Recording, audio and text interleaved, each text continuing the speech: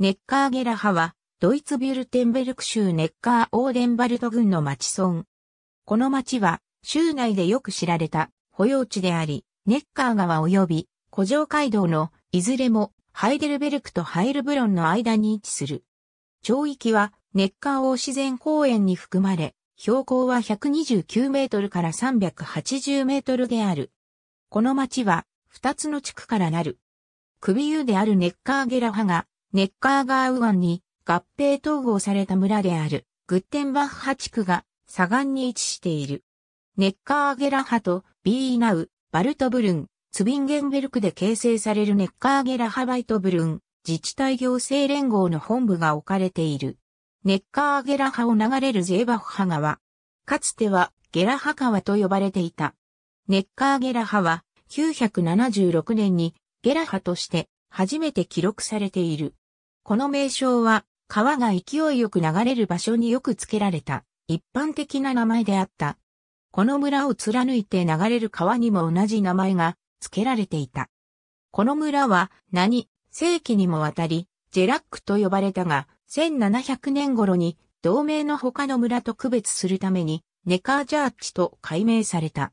ゲラハカーは、1676年にゼーバッハ川と改名されている。この村には漁師や船乗りが定住した。第二次世界大戦中、ネッカーゲラ派にネッカーエルツ強制収容所の司令部が置かれた。1945年3月22日の連合軍の空爆は小さな村のネッカータール鉄道の路線上に100発以上の爆撃がなされた。1200人の住人のうち200人以上が亡くなった。兵士や強制収容所収容者にもわずかながら犠牲者が出た。1972年12月31日にグッテンバッハが合併した。ネッカーアゲラハの町役場この町の議会は13議席からなる。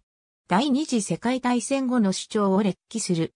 青地に赤い斑点を持つ銀のマスが斜めに配置されている。魚は川沿いの町であることとネッカー川の漁業を示している。ミンネブルク城市バルトゼーここの町は、連邦道 B37 号線に面しており、ネッカーゲラ派とグッテンバッハの間に橋がかかっている。